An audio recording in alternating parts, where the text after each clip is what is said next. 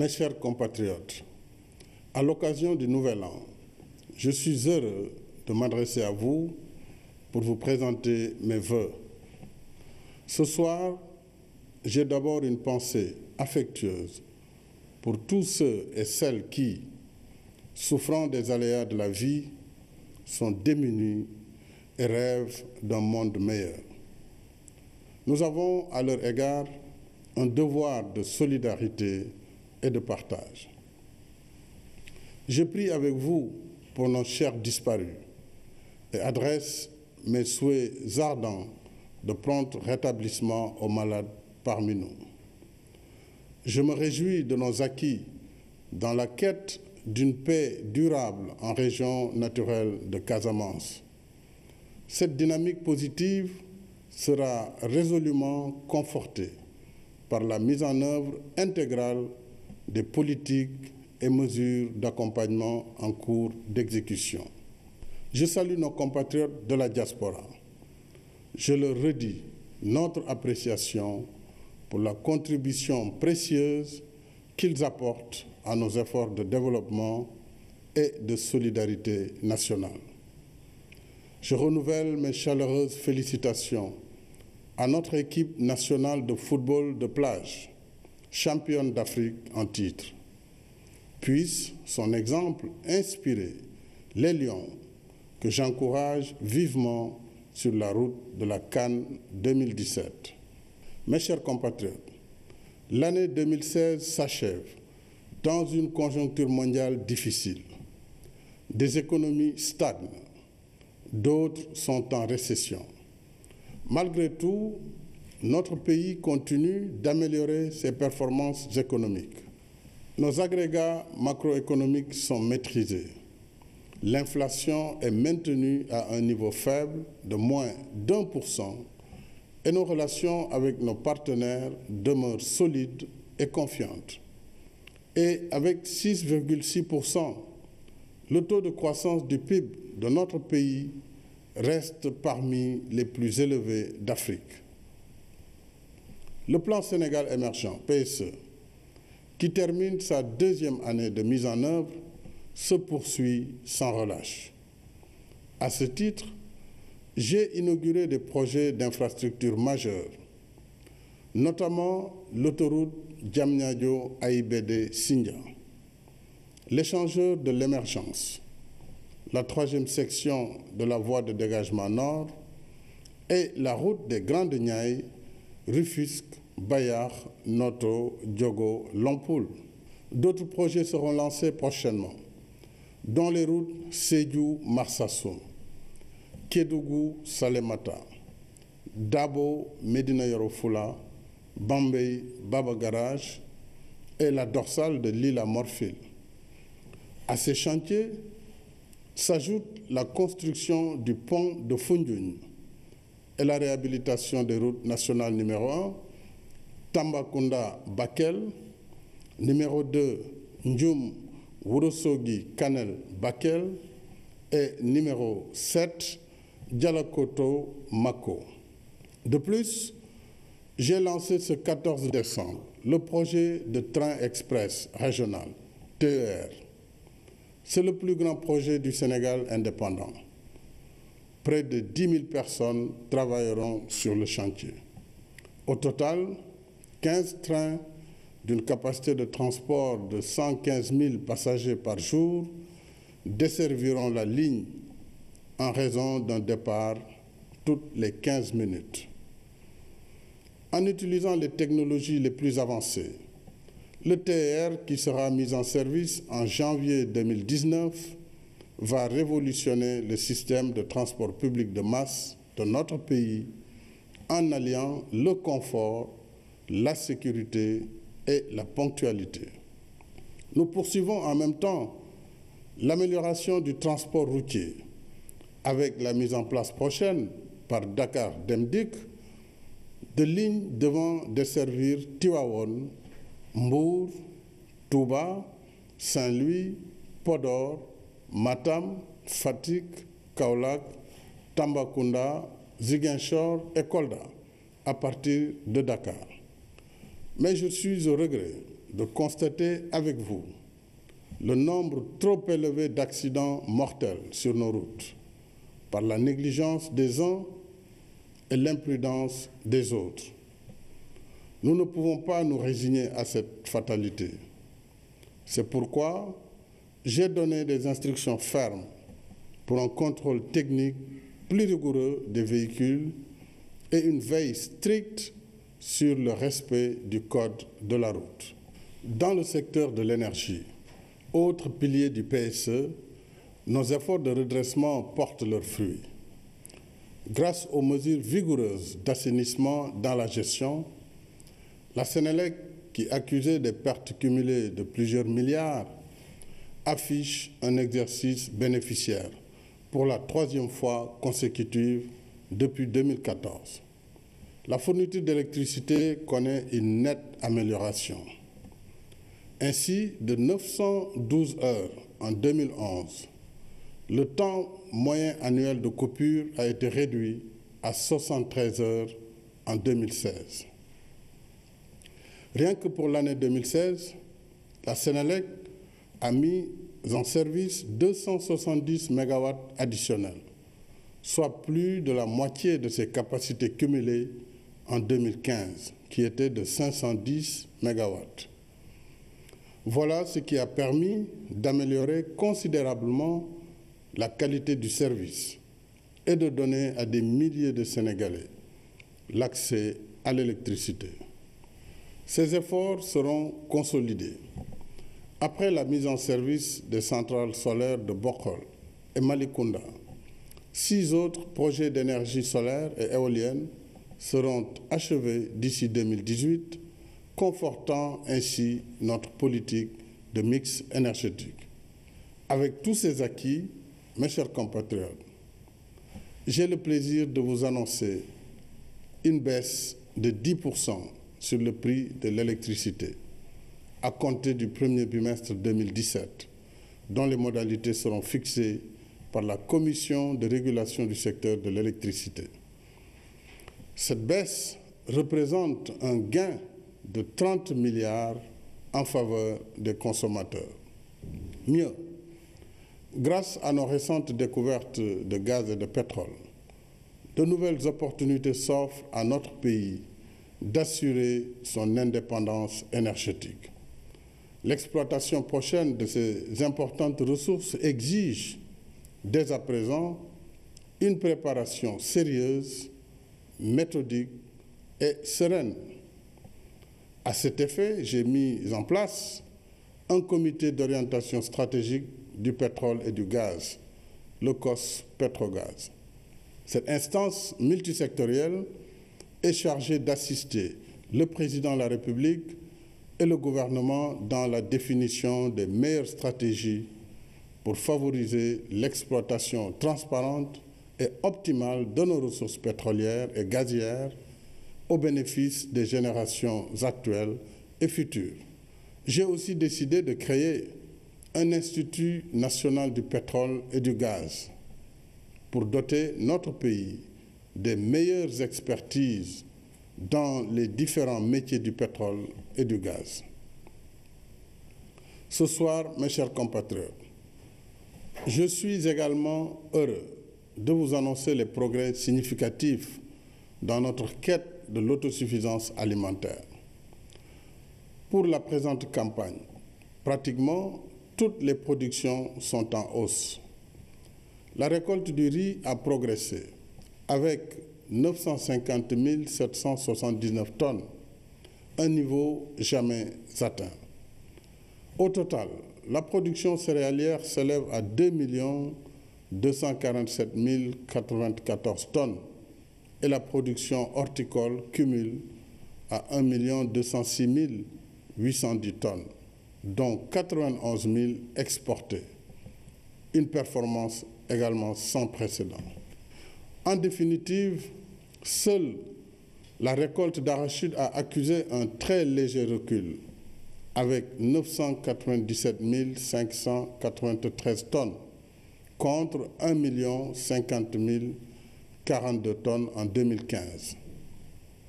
En soutien aux producteurs, le prix du kilogramme d'arachide a été relevé de 200 à 210 francs.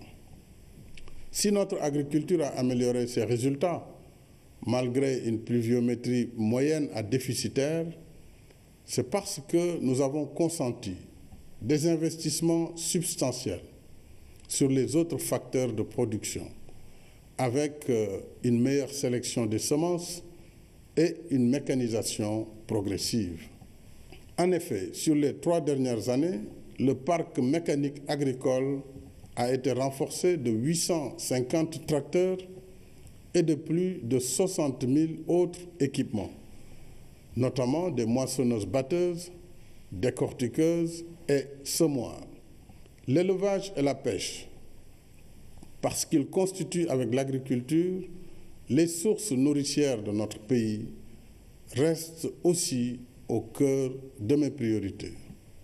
C'est tout le sens de la troisième édition de la journée de l'élevage sous le thème Enjeux et défis d'un financement optimal pour l'émergence du sous-secteur de l'élevage.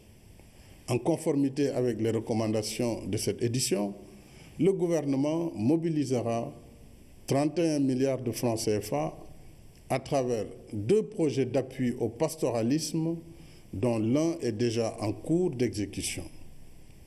Une attention soutenue sera accordée à la lutte contre le vol de bétail, y compris par le renforcement substantiel des peines prévues à cet effet.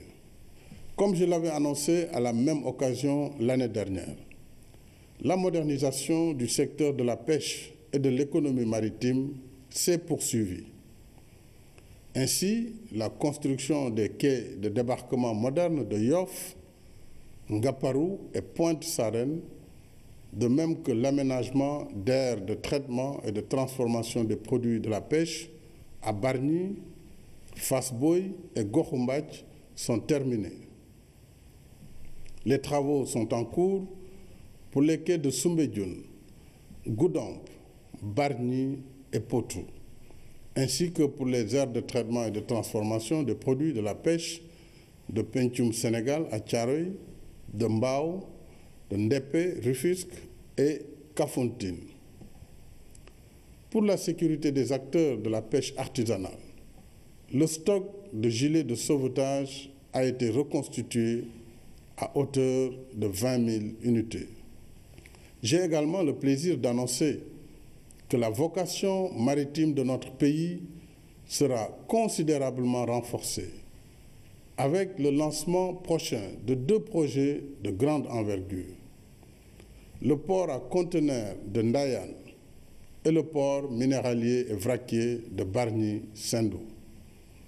Avec ces deux infrastructures de classe mondiale, de nouvelles activités maritimes se feront jour et notre pays confortera son standing de hub maritime et logistique international. S'agissant du secteur vital de l'hydraulique, 2017 verra le démarrage du chantier de la troisième usine de Cœur-Montmarsan.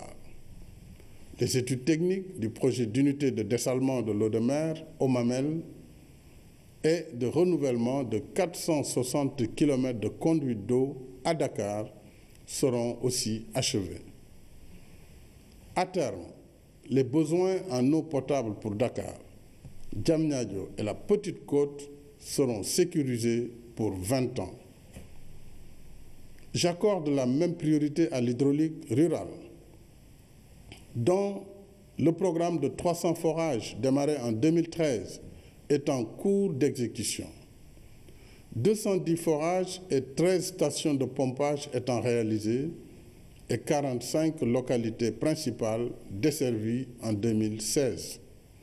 Au total, ces réalisations ont permis à 630 000 personnes d'avoir accès à l'eau potable. Mes chers compatriotes, malgré nos avancées significatives, des zones entières de notre pays, comme oubliées depuis des années du processus de développement reste encore dépourvu de services publics. À l'occasion de mes visites à l'intérieur du pays, Je vois encore des villages entiers isolés du reste du pays, sans accès à l'eau et à l'électricité. Je vois le quotidien pénible des femmes de tous âges, endurant toutes sortes de corvées insupportables. Je trouve injuste qu'au XXIe siècle, nos mères, nos épouses, nos sœurs et nos filles continuent d'exécuter des tâches dans notre âge. J'ai à cœur de réparer les grandes injustices qui pénalisent des millions de Sénégalaises et de Sénégalais. C'est pourquoi j'ai inscrit l'équité territoriale et le développement solidaire et inclusif au cœur des priorités du PSE. Parce que je veux un Sénégal de tous et un Sénégal pour tous. Et c'est justement la finalité du programme d'urgence de développement communautaire, PUDC, que j'ai lancé en juillet 2014 avec quatre composantes eau, électricité, pistes de désenclavement et équipements pour alléger la pénibilité des travaux des femmes. Après deux années de mise en œuvre, les résultats du PUDC sont plus que satisfaisants. Des centaines de villages ont été sortis de l'obscurité et du désenclavement et ont pu avoir accès à l'eau et aux équipements pour l'allègement des travaux des femmes, à l'image de Bambandinka, de Tessekre, de Lumbol Samba Abdul, de Yamoussa et de Gundjaï, entre autres localités ayant bénéficié du PUDC. Sur le volet hydraulique du PUDC, nous avons acquis un financement additionnel de 60 milliards de francs CFA pour démarrer dès le premier trimestre de 2017 des travaux de construction et de réhabilitation de 251 forages. Un nouveau lot de 1000 moulins et 1000 décortiqueuses sera également disponible pour une distribution immédiate. Je suis très encouragé par les témoignages me parvenant directement des populations bénéficiaires du PUDC, comme celui du maire de la commune de Djinani qui renseigne après l'édification de la piste Djinani-Medina Wandifa, que le trajet qui durait de 3 à 4 heures entre ces deux localités distantes de 23 km seulement se fait désormais en 25 minutes. Le même écho nous est venu du maire de la commune de Dindefelo, qui, suite à l'installation du forage de Yamoussa, a eu raison de dire que le PUDC est un programme de justice sociale qui met les Sénégalais sur un pied d'égalité. Au regard de ces résultats probants, j'ai demandé au gouvernement d'initier sans tarder la deuxième phase du PUDC pour 2017-2019. En même temps, nous poursuivrons la modernisation des cités religieuses ainsi que la mise en œuvre du programme d'urgence pour la modernisation des axes frontaliers Pumont et du programme de modernisation des villes du Sénégal, Promoville, déjà en cours à Dakar, Kaolack, Djurbel et Gossas. Mes chers compatriotes, l'école et l'université continuent de retenir toute mon attention. Dans un monde où le savoir et le savoir-faire déterminent le progrès des nations, j'estime en effet qu'aucun investissement n'est de trop pour l'éducation et la formation.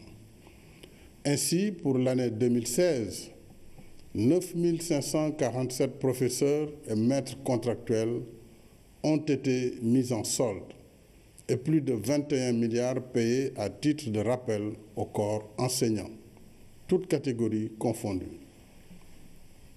Nous avons investi plus de 89 milliards pour l'extension de la carte scolaire, les équipements et l'amélioration des conditions de travail en milieu scolaire.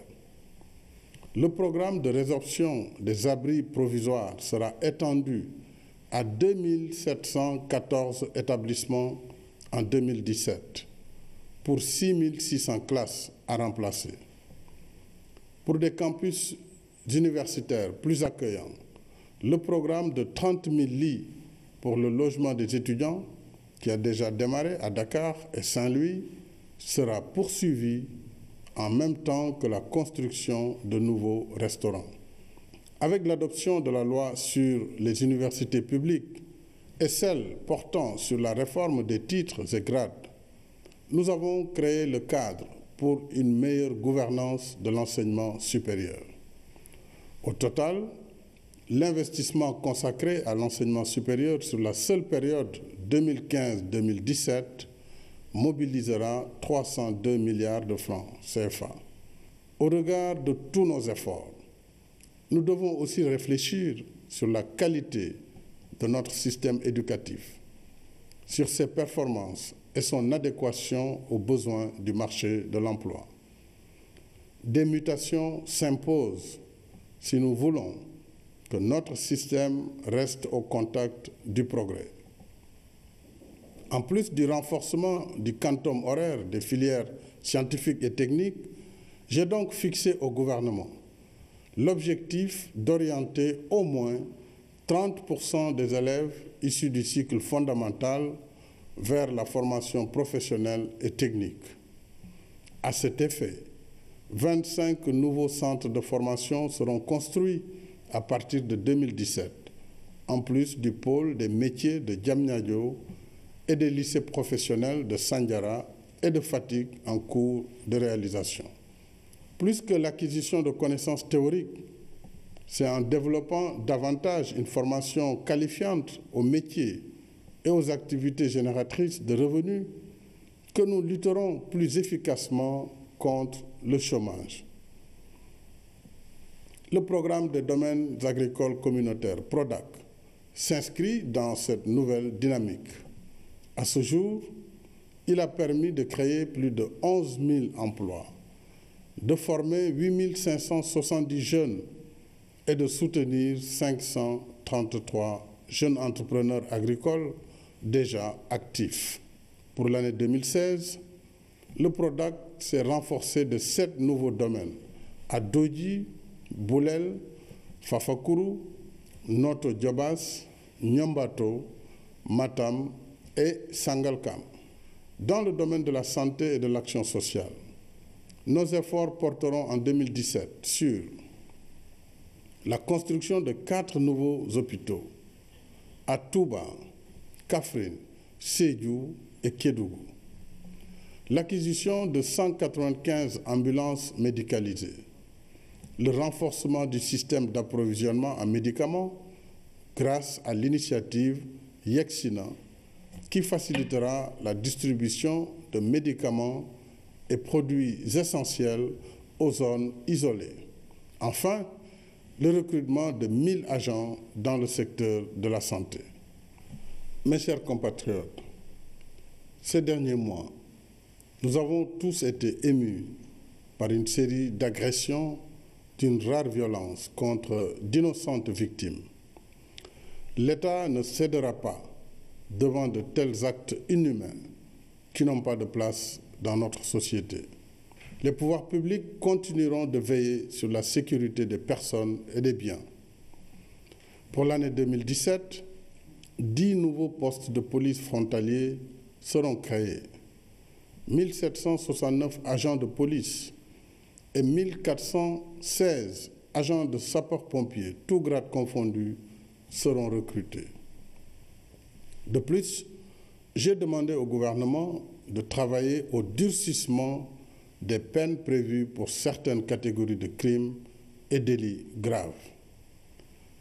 J'appelle aussi à une introspection individuelle et collective pour que tous, ensemble, nous revenions à la sagesse des anciens par la revitalisation des valeurs éthiques et morales comme fondement de la vie en société.